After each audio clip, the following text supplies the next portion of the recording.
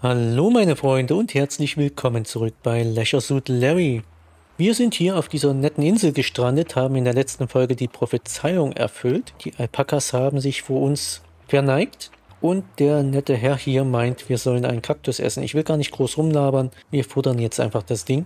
Klar, her damit. Hier, nimm.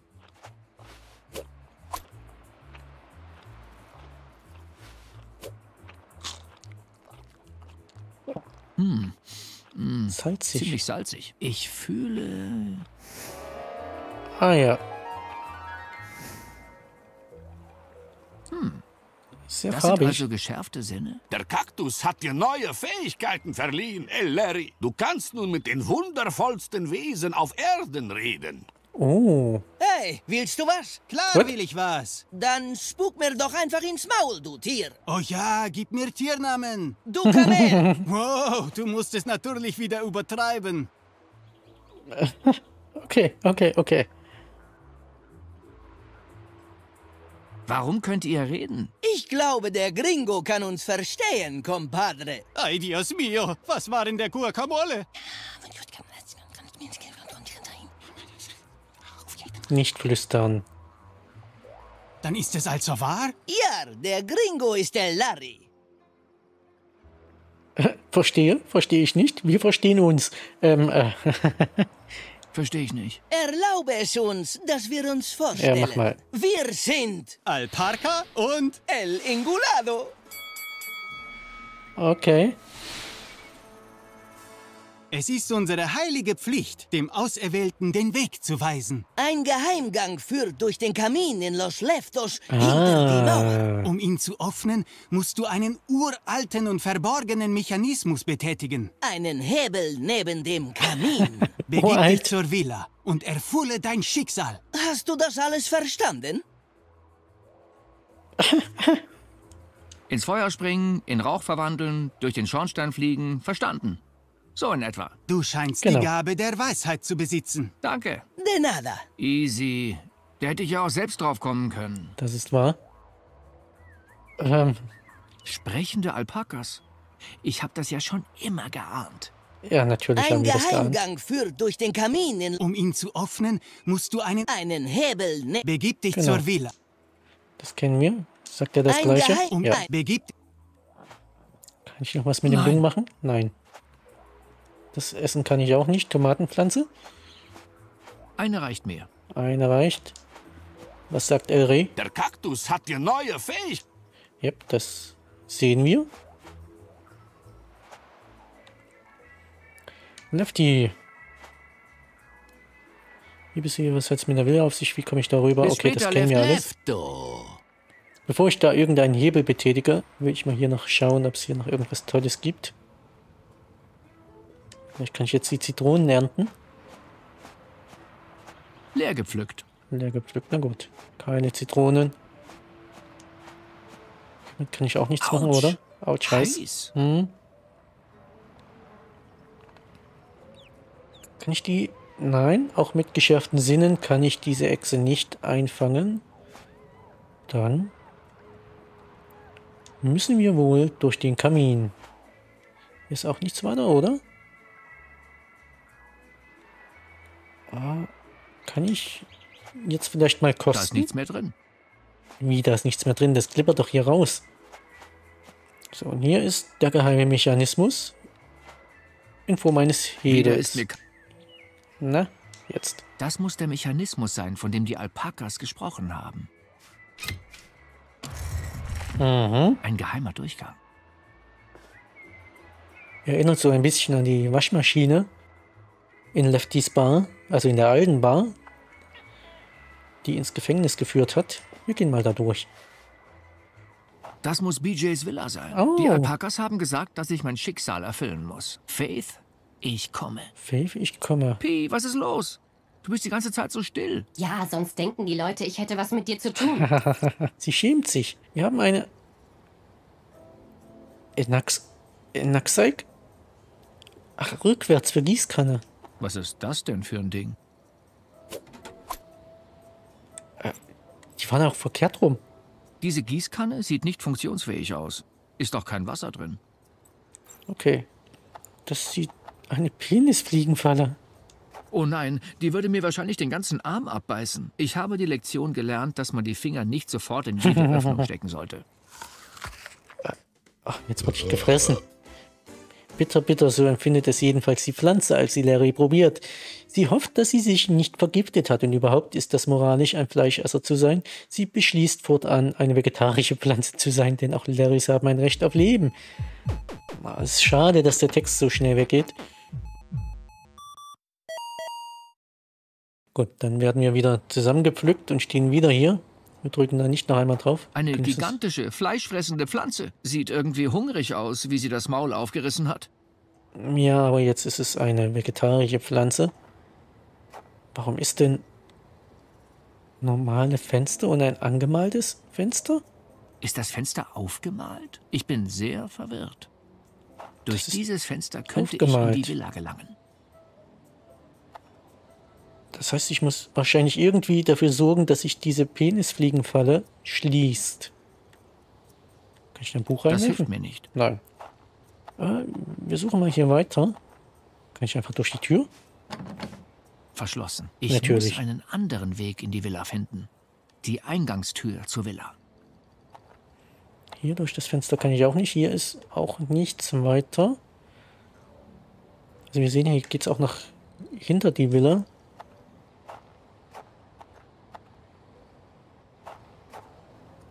Ein überdimensionierter Radiergummi. Den nehmen wir mit. Was für ein riesiges Teil.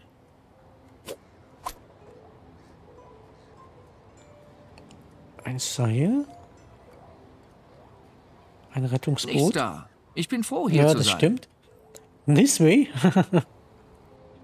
Da geht es zwar ziemlich steil runter, aber das Boot kann man von hier aus zu Wasser lassen. Genau, und hier ist eine gigantische Aubergine.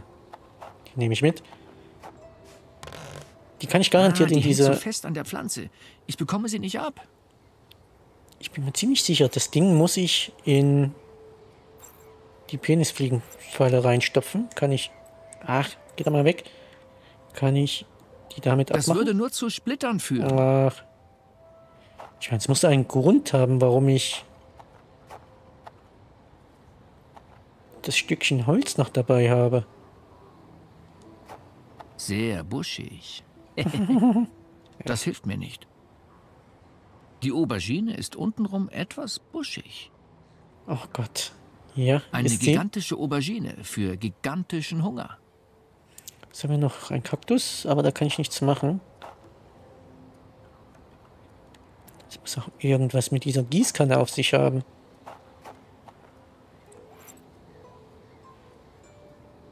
Und die ist verdreht.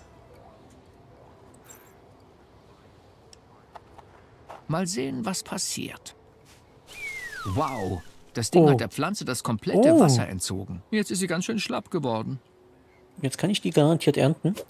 Ja. Die ist leichter, als ich erwartet hätte. Ja, mit einer umgedrehten Gießkanne verdorrt man Pflanzen. Das ist absolut logisch. So, jetzt stopfe ich das Ding hier rein. Weiß nicht, ob das funktioniert, aber Langsam, nicht zu nah. äh, ganz ja, langsam. Das sollte passen. Und flop, genau. Scheint ihr geschmeckt zu haben. Jetzt kann ich draufklettern, aber dieses Fenster ist zu. Ja, das ist nicht nur zu, das räumt mich einfach weg. ich's. Ich muss einfach nur... Und dann habe ich da gar kein Fenster mehr, oder? Das war alles sehr Ah. merkwürdig, aber das Fenster ist jetzt offen. Sieht sicher aus. Was? Wie bin ich denn jetzt? Ach, auch egal. Dann mal los. Faith, ich komme. Wow. Okay. DJ hat keine Kosten und Mühen gescheut. Ah, verdammt, ich komme nicht nach unten. Diese Seite der Treppe wurde gerade gewischt.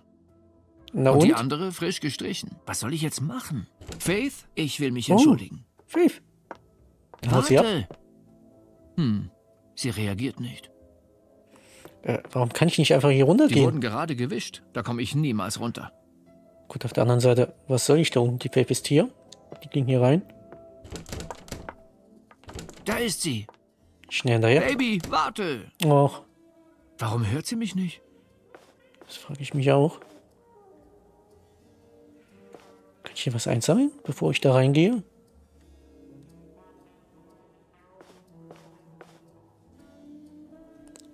Nur diese Türen und ein Gemälde. Dann hinterher. BJ darf mich nicht finden. Was ist mit BJ?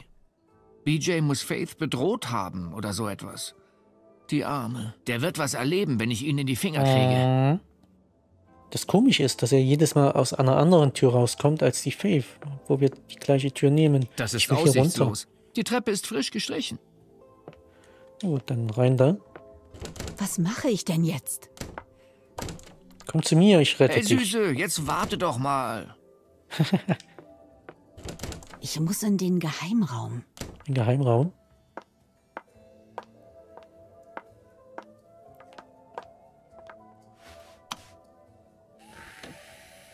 Aha.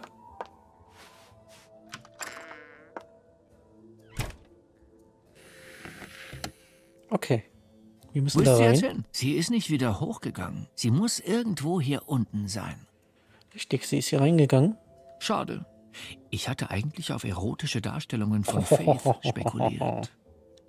Hört sich an, als wäre etwas dahinter. Genau. Irgendein Mechanismus gibt es hier. Was hat denn sie gedrückt? An der Lampe? Nein. Hier war da eben was, oder? Nee. Mm, Besser nicht. Ich kann es nicht einfach aufritzen. nicht. Gießen Das kann ich auch nicht. nicht so das viel Sinn. ergibt überhaupt keinen Sinn. Ich kann das hier immer noch nicht bedienen. Wo hat denn gute Dame drauf gedrückt? Oh, hier passiert auch was. Ach so. Nee, das war... Ich habe immer nur das Gemälde fokussiert.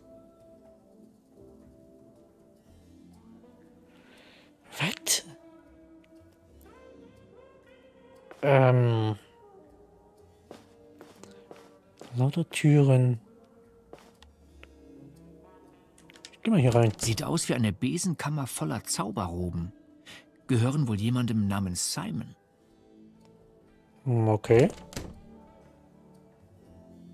Da drin reden zwei Tentakel miteinander. Was? Das finde ich eklig.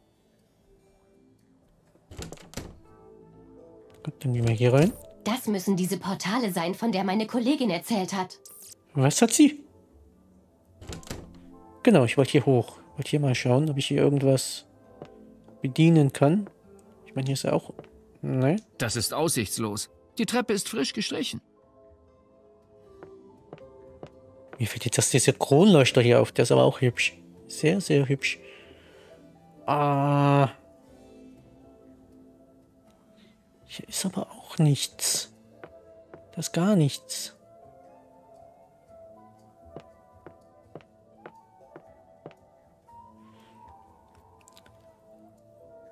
Wo Da komme ich doch gerade her. Ich muss zu Faith. Das ist richtig. So. Also anscheinend mit diesen Figürchen, da kann ich nichts machen. Ich, Das war knapp. was war knapp? So, hier kann ich nicht interagieren. Das ist eine Büste von BJ. Okay. Vielleicht hier der Fußboden? Nein. Ja, meine Güte.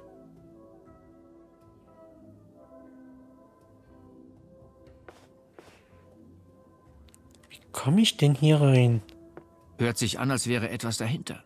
Ja, ziehst du einfach weg. Schade. Ich hatte eigentlich auf erotische Darstellungen von Faith spekuliert. Das sieht nach einer Abkürzung in Welt 4-1 aus. da muss ich erst später hin. Okay, ist Super Mario. Bin ich wieder dort. Uah! Huch. Ups. Entschuldigung. Boah. Der Raum ist innen größer als außen. Der Raum ist innen größer als außen. Das sieht nach dem Labor von Professor Asimut aus. Wer ist denn Asimut? Was ist denn hier los? Okay, offensichtlich bringt mir das, sieht mit nach diesen dem Türen Labor gar von nichts. Professor Asimut aus. Jetzt wiederholt es sich auch.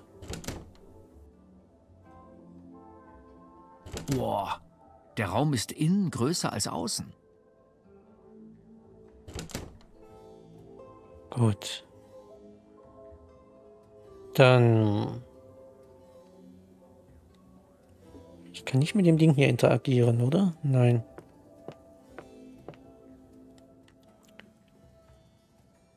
Ich habe mich ja schon gewundert, wofür ich diesen Splitter noch brauche. Das wird ja einen Grund haben. Ups, Entschuldigung. Gut, jetzt sind wir wieder hier unten. Kann ich den nicht hier für irgendetwas benutzen? Nee. Ich kann auch von hier nicht da oben irgendwas machen. Nein. Das würde nur zu Splittern führen. Eieiei. Jetzt wird das Spiel nochmal richtig knackig. Ein Ein Holzsplitter. scharfkantiges Holzstück. Ich muss aufpassen, dass ich mich nicht schneide. das Kochbuch und die Gießkanne. Die beiden habe ich, weil ich die erst benutzt habe. Auf dieser Insel, aber den Holzsplitter habe ich noch nicht benutzt. Ich meine, die Gummipuppe habe ich auch nicht mehr dabei. Das muss irgendeinen Grund haben, denke ich. So, hier sind auch keine geheimen Schalter. Vielleicht hier drüben? Nein.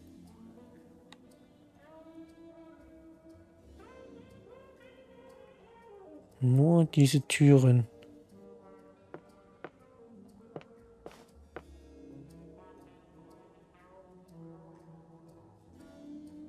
Also ich bin ja auch der Meinung, die Faith hat eine Fernbedienung. Die habe ich jetzt natürlich nicht. Ich kann das Ding hier nicht. Nein.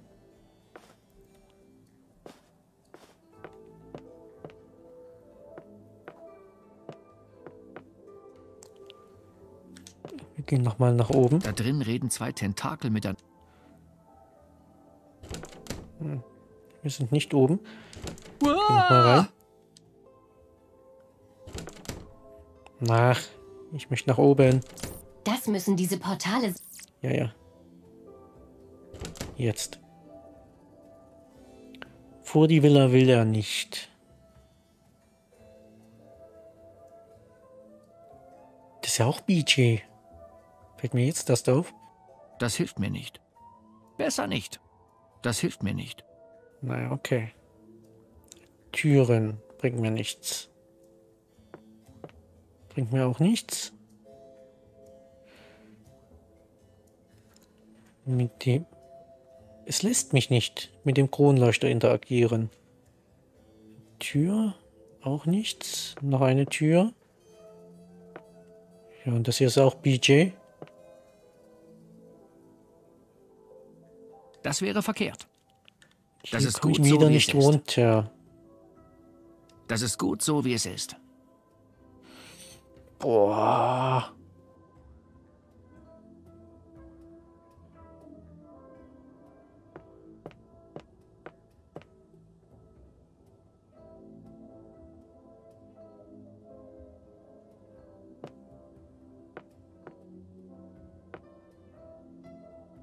Wir machen mal folgendes. Ich speichere einmal.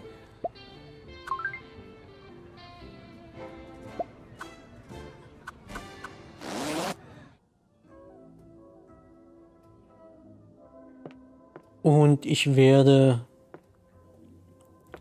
mal außerhalb des Videos etwas probieren und sobald ich die Lösung habe, lade ich den Spielstand und Da Und werde genau dort dann ansetzen. Das finde ich eklig. denn ich stehe gerade richtig auf dem Schlauch. Das sieht nach dem Labor von Professor Asimut aus. Das Einzige, was ich jetzt noch mache, ich, ich gehe mal durch jede Türe einzeln. Das war knapp. Und zwar von links nach rechts. Das Das müssen diese Portale... Ja, ja. So. Ganz links habe ich hier schon. los? Gut, dann noch hier rein. Sieht aus wie eine Besenkammer voller... So, die hatten wir noch nicht. Das sieht nach einer Abkürzung...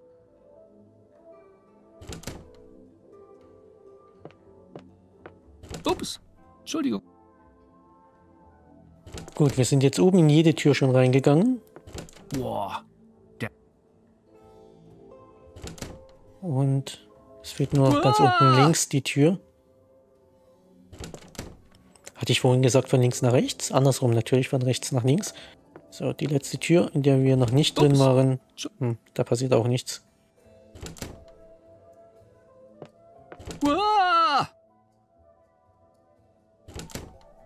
Ich will mal noch schauen, Das ob ich mit dem Riss da unten links aus. neben der Büste interagieren kann. Aber wahrscheinlich nicht, nein. Gut, dann wie angekündigt. Wir beenden hier die Folge. In der nächsten Folge erkläre ich euch, wie dieses Level weiter funktioniert. Ich hoffe, euch hat diese Folge gefallen. Wenn dem so ist, dann lasst doch bitte ein Däumchen da. Und wenn ihr wissen wollt, wie wir hier aus diesem Raum wieder rauskommen, beziehungsweise wie wir hinter dieses komische Gemälde kommen, dann abonniert meinen Kanal. Bis dahin, gehabt euch wohl.